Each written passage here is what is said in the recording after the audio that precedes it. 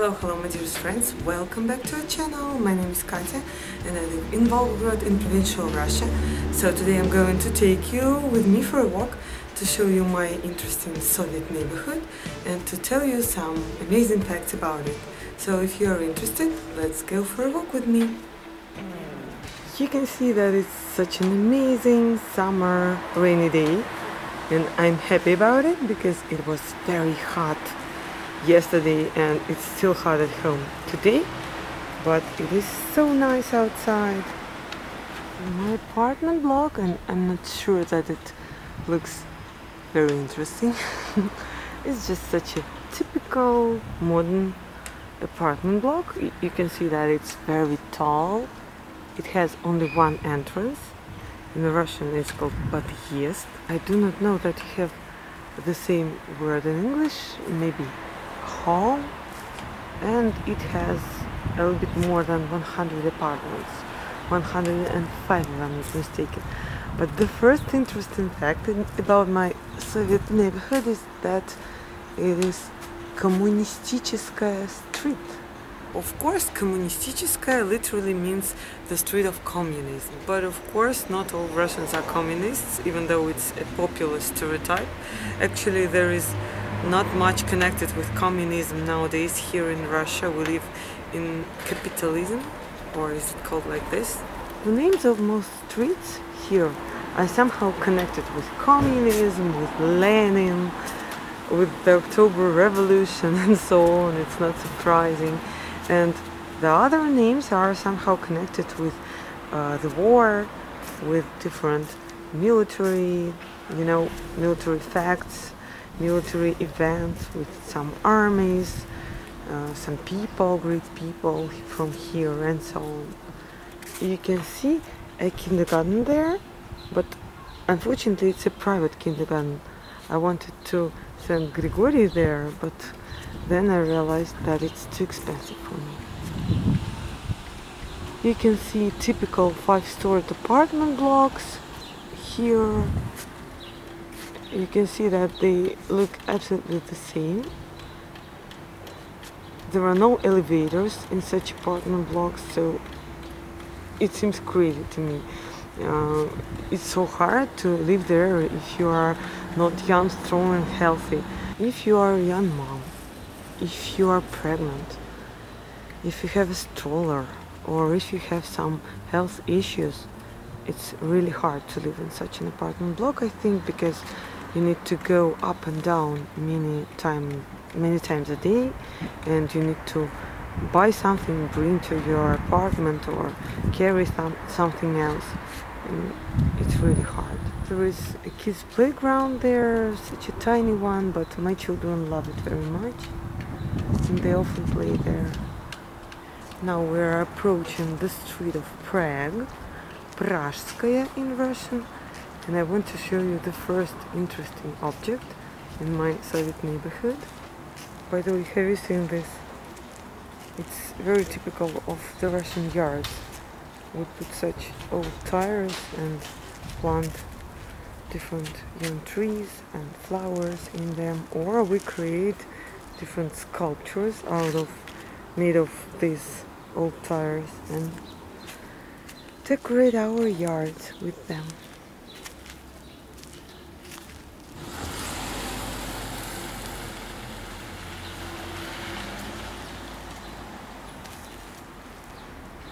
Someone built a balcony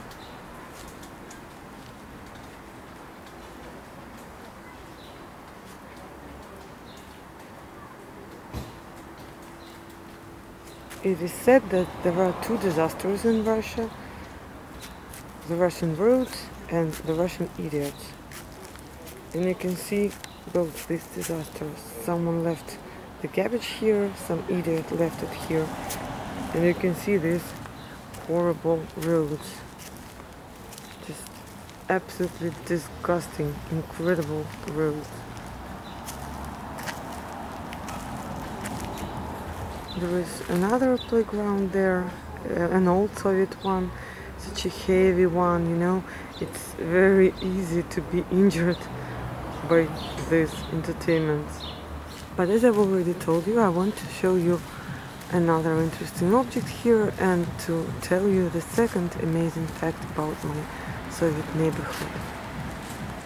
There is an amazing Catholic church right in front of my apartment block. You can see it. It is one of the most famous Catholic churches in my region. It's so interesting. You can even see some Russian Catholics there. A Catholic priest and some people there eating a watermelon. They're having some celebration, chatting, having fun. Maybe today is a Catholic holiday or something like this. I do not know. As you know, but most Russians are Orthodox Christians. We are not Catholics, and it looks so, you know, unusual for me to see so many Catholics here. It's a very beautiful church, a very beautiful place. Lots of flowers. It is situated in front of a, a local school. This building, it's a building of a public school. I've never been inside of this building because, frankly speaking, I do not feel, you know, comfortable to go there inside just just for fun. I think it's not so good and what is more, I do not know the traditions because when you enter an Orthodox church you should wear something on your head, you know, women should wear a scarf or something like this, we should cover our head. It is not allowed to go without this cover into the church. But I do not know the traditions. So I've never been there, but I'm going to add some photos for you.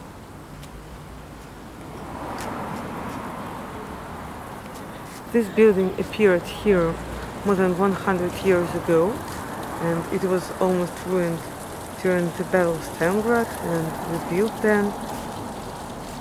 And another interesting fact, of course during the period of Red Army, Bolsheviki and so on after the revolution it was um, not ruined but uh, this building was given to some club of the railway workers uh, you know that Bolsheviki were fighting with all types of religion. That's the main reason why it was forbidden to be a religious person here.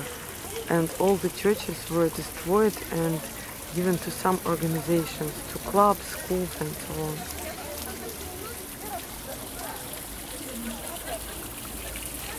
Such beautiful, beautiful flowers.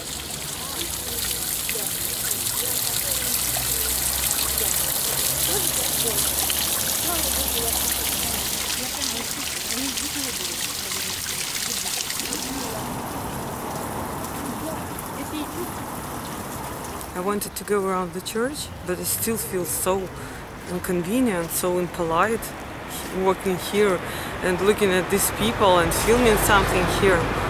So I decided to go away.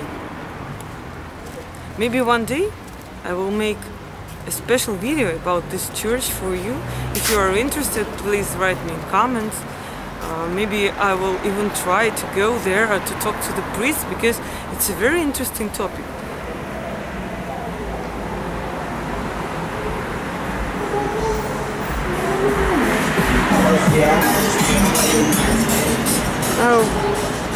Not surprised. Such a typical picture of the Volgograd streets in summer. And this is the street of communism. This is the street of Prague, Pražské, and this is the street of communism.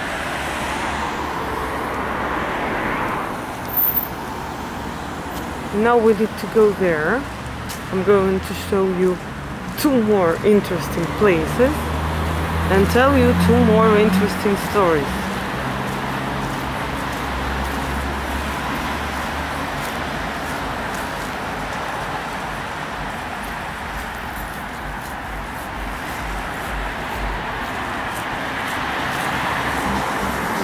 Surprised by the low level of these windows of the first floor. We call it the first floor in Russia, even though I know that it is called the ground floor in English. Anyway, we were taught so at school. And people live here. You can see it. I even saw a babushka there looking at me. I think it's very hard to live here because it's so noisy from the road. It's so noisy from the people walking here. A coffee shop. So let's hurry because we need to go there. I do not want this video to be an hour long, but I could chat with you for a very long time and I could tell you something about everything here. A car wash, there are so many car washes here. And some weird, oh my god! Theater Kukol, it's a bus of the puppet theater. Just look at it. Such, such an old building. It looks like a private building, but there are some two-storied houses there, some offices and so on. It's our local Silpo, but it is closed now. We call such tiny shops where you can buy absolutely everything from, you know, from water, butter, vegetables to toothpaste, toilet paper, something for your house and so on. We call such tiny shops Silpo And I do not know why, why it is closed now. Maybe because all these shops uh, belong to small businesses, you know, and uh, that is why the owners of such shops, they usually work there inside with their relatives, mothers, fathers, wives and so on. That is why they prefer to have days off. Коммунистическая 54. the street of communism.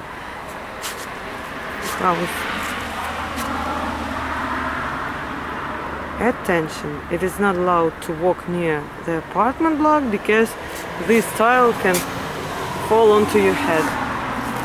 It is also typical of the Russian towns. As for me, I love such such plants. It's grapes here. It's wild grapes, and I like how beautiful it looks. And many local apartment blocks are, especially Soviet ones, are decorated by this. You can see no windows. I'm sure that it was done because um, because of the sun, because the people do not want the sun and other people to look into their windows. Looks really good, I think. Very beautiful. Like a waterfall. And now we're approaching these two interesting places, this one and that one. This is Sberbank. Uh, it is a place where you can get a huge loan for buying an apartment or a house or something like this. I do not remember this word because firstly I called it mortgage but, but then I realized that is something different. Anyway, you can get a loan there and we got the loan there for our amazing apartment. It is very close to us. And I want tell you to tell you a sad and scary story about this place. The roads are fantastic again. Just what is it? Several layers of different roads. I'm sure that it's one of the richest departments of Sberbank in our region, maybe th- in the whole Russia. Of course, it's not surprising because more and more people prefer to get big loans to buy an apartment. Первая государственная трудовая сберегательная касса в городе Царицыне была открыта 1 сентября 1923 года. Well, maybe it was situated here at this place. I do not know correctly, so I'm not going to tell you whether it is somehow connected or it's just some useful information. As I've already told you, more and more people nowadays prefer to get huge loans for 10 years, 15 years, or even 20, 25 or 30 years to buy an apartment or house and many other people like to complain about it because oh they say that it's it's really slavery it's uh, something incredible. Uh, at the same time uh, they like to compare us to the United States of America to other countries and I'm sure that you all know that the situation is the same in the whole world and we are lucky that we finally have the same opportunity to buy an apartment when we are young, to live somewhere, to pay for this apartment for the whole our life, but to have something, not to wait, not to try to save money because it's absolutely unreal, especially when you have a big family, when you have children, just like me, just like my family. I'm sorry for this noise, something is being done there, something is being renovated and I hope that you can hear me well because I hate when I talk to you, tell you interesting stories and then I can't use this footage. And this, this street is it's not very big but it's very noisy. I do not know why. Сбербанк Коммунистическая 40. I wanted to show you the whole building but it's so high. Now it is called just Sber. It had a rebranding some time ago. It's huge, it's so tremendous and looks so serious. Some time ago there was there was a horrible story there, a real tragedy, and I want to show you something and tell you about it. This is the photo of Roman Grebenyuk, who was some time ago killed right inside of this building. You know, I'm often asked, is Russia safe? Is it safe to stay here, to have a trip here, to walk in the streets and so on? And I can say that Russia is safe and my hometown is very safe. It is okay to walk in the streets at night, especially when you are somewhere here closer to the city center. No matter what time it is, you can walk, you can, you know, have party, you can go somewhere to a club, to a restaurant, you can have money with you, you can have jewelry on you, it is absolutely safe. But sometimes some really ridiculous stories happen here and this one uh, was one of the most ridiculous that I've ever heard in my life and I'm sure that it's one of the most um, crazy stories in the story of my hometown. This man, Roman Grebenyuk, and some other people, they were in one chat for the parents of the children from the same form, class, from the same group from school. And they had an argument. And somehow one lady got very offended by his words, uh, even though he didn't say something, you know, something really bad. Because I read that messages just like most people here and it was just written something just you know he said хватит сопли жевать in Russian it, it is it means stop um, you know stop speaking about nothing and stop procrastinating it is not very offensive it's just such a typical phrase of our you know speech and uh, this lady got very offended and she told her brother and her husband about that event and they met that man here in this office. They had another argument and then they fighted and he died. It was just crazy because there was no reason for such a huge argument. There was no reason for a fight they were just discussing some extra classes for their children at school. And you know there are always some arguments and it's often hard to communicate in such Viber chats in, in Viber or WhatsApp or something like this. But there, there is absolutely no need to argue especially like that. And it was a big tragedy, it was a big uh, event for the whole town. We read about it in every newspaper, in every, you know, social media. It is crazy and super, super weird. Uh, especially when it's absolutely safe here. When something incredible happens, we all know about it, just like in a big village. And such events happen really rarely. From time to time, mm, I think one such great events in a year or several years, and we always know them. It is sad, my friends, and it was sad, useless and stupid. So you can see that it's the weirdest place of my Soviet neighborhood. And let's go there. Oh, I wanted to show you. You can see the lady from the roof of the planetarium, this one. So beautiful. I want to film an excursion there for you because it's one of my favorite places in Volgograd. But now I want to show you this. It is an emergency station and now it is almost closed. I can see some officers there and these windows, not windows but doors, they are closed. But um, on working days they are often open and you can see all these vehicles, beautiful firefighter vehicles. It is Главное управление МЧС России по Волгоградской области. I can see some officers approaching me. I hope that it's not forbidden to film it. Let's run away. Some time ago I was very surprised why there are so many firefighter cars around. I can constantly hear this noise from firefighter cars.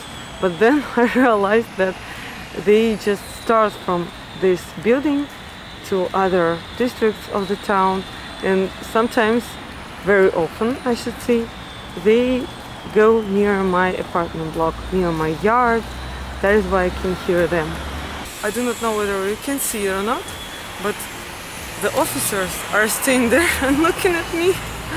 I look like an idiot again. I'm not going to go there. Maybe some other day. Let's go to another amazing very interesting place. And now I'm going to show you another amazing place, really Soviet one. It appeared here in the Soviet Union and it was popular in the Soviet Union, but now it's abandoned. Whoa, I'm just like Bald and Bankrupt. I'm going to show you abandoned Soviet places. This is the building of the tourists' Soviet railway station. It was a special railway station only for tourists built here in the Soviet Union many years ago when it was not allowed to travel abroad and only few people could get from the Soviet Union somewhere our people like to travel along the Soviet Union.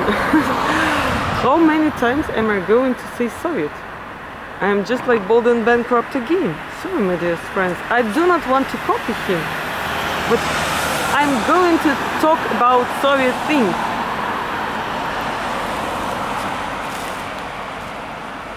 there was a special popular trip for the Soviet people by train visiting many many towns and there was a special Soviet railway station for tourists in each such town. Those people used to come here early in the morning to this station. There were a lot of buses here for tourists. The buses could take them and bring whatever they wanted to different interesting places to show them the sights of the city and so on. And then in the evening, those people used to return back here, get to their train and go to another town. They were going by train only at night and having fun in different towns and cities every day. One day for one city or town. I think it's an amazing idea. It's much more interesting than Trans-Siberian trip because people just sit in this inside of a train and they go, go, go and do nothing interesting. is Birban. But then this beautiful place was abandoned and now it's not used at all. By the way, this picture is called Mirvam, that literally means peace to you. We wish you peace. It looks so beautiful and it's one of the most beautiful and complicated Soviet works of art in my hometown. This railway station used to be very beautiful, but some other mosaics are now ruined, covered by all this stuff, and maybe they are lost. It is a real disaster because they've ruined the monument, I should say, the monument of the Soviet epoch. Now there are only car washes. Oh my, oh my god, cafes and canteens there, as there are a lot of offices nearby. Unfortunately, speaking about all the Soviet places and most beautiful Soviet works of art, buildings and so on, I always feel just like Bald and Bankrupt. I do not know why our people do not care about this period of our history and about everything left after it because this art it is fantastic. It's so beautiful. I think that it's much better than the modern art. Oh, such holes some plants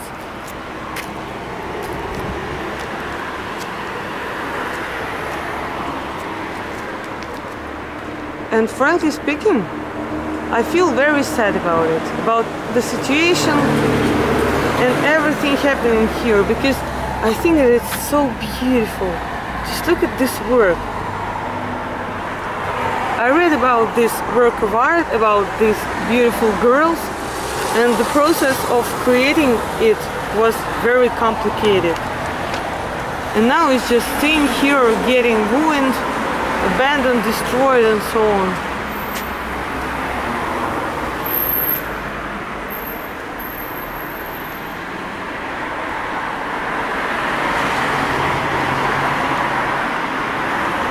when I asked some of my friends and relatives about this place, no one even knew about it. No one knew what it was. Where I used to call this part uh, the tourist station because some time ago many students used to go by buses to different resorts from here. And some children used to go to their summer camps from here, from this place but no one knows the history of this place, no one knows anything about this work of art. We have no memory and no money for all this. And we have only Mr. Bald and Bankrupt who can come and film all this disaster. Make views, earn money, and unfortunately at the same time can make fun of us, stupid people who somehow forgot their history. It is sad. You can see that there used to be a big square here uh, where the tourists could come, go, get to their buses and go to the city center and wherever they wanted. At the time, this, the, the place of this railway station is really good because you can just cross the street, go there and go right to the panorama. It is situated down the street. You need just 10 minutes or so, or even less, if you can walk fast. And now there are so many car washes 24 here. So many abandoned places here. Oh, I almost fell down from here.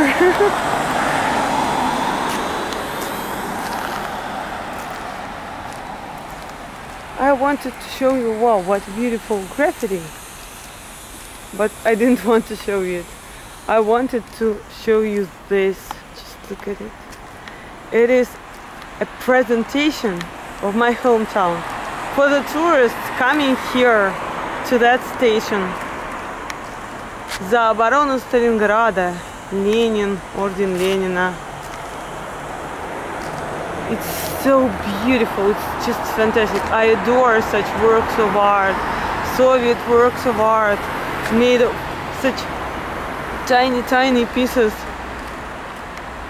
It's so beautiful. But now there is an ugly cafe, or what is it? A cafe where you can buy shawarma, burger, or some greasy pies in front of it. Something else. Everything is ugly, I should say. Absolutely ugly. This street just looks just like it needs to be cleaned and absolutely changed, renovated, rebuilt because all this beauty is covered by a, a big layer this mud stuff something disgusting.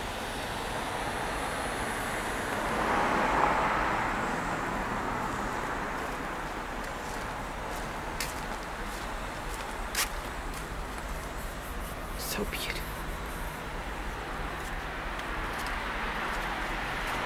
I've already shown you many such works of art. Some of them are abandoned, in bad places, in ruined places.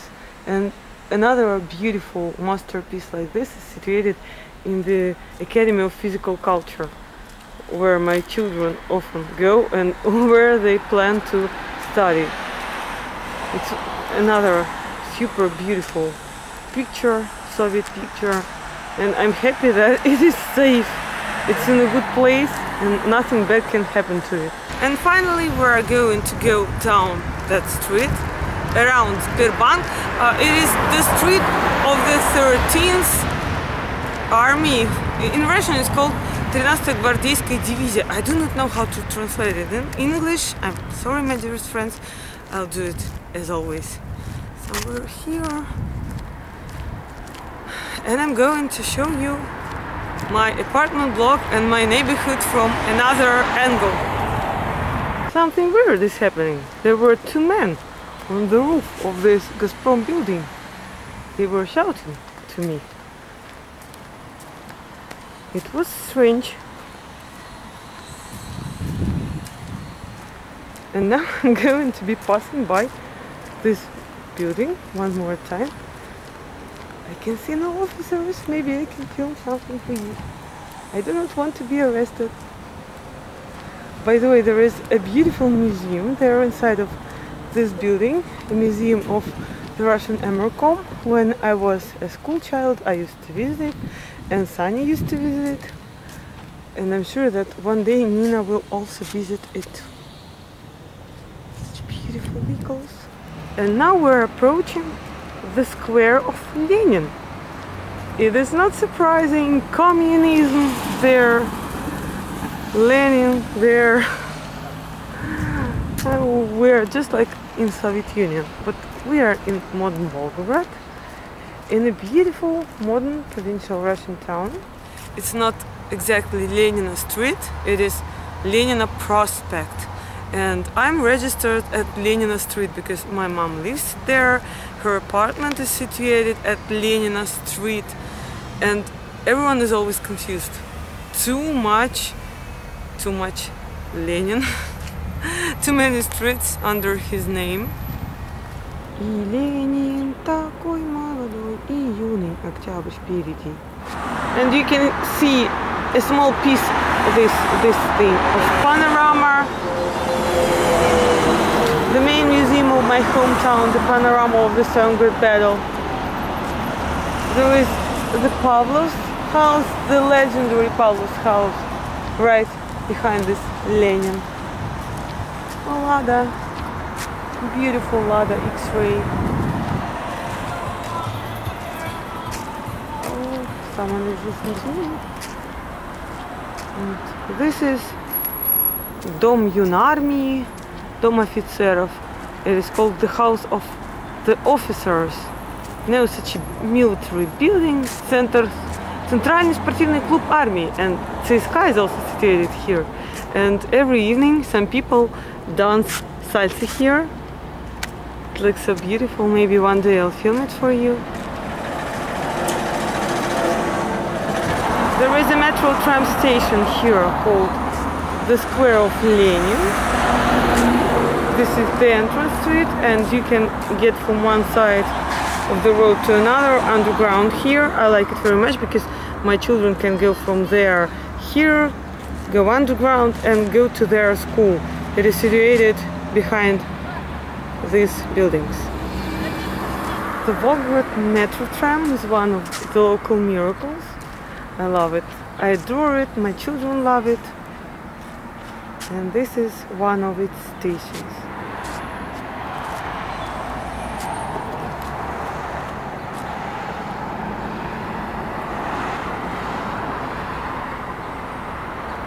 Volgograd for 130 years.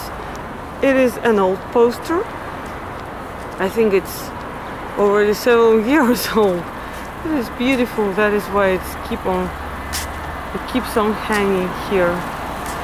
Such a station. Oh, such an active babushka running to this bus. And here you can buy the most popular modern Russian street food Блины. Блины, кофе, soup, каши. You can buy coffee, but I'm mostly interested in Russian blini in pancakes. It works 24-7. You can just come here and buy something. And sometimes when I walk in the evening with Grigori, I buy some tea here, some blini. Maybe one day I will film a video about it. Write me in comments if you're interested. I know that one of my best friends loves this blini very much, even though he's not from Volgograd. And maybe one day I will film a special video about them for you. I think it's a good idea.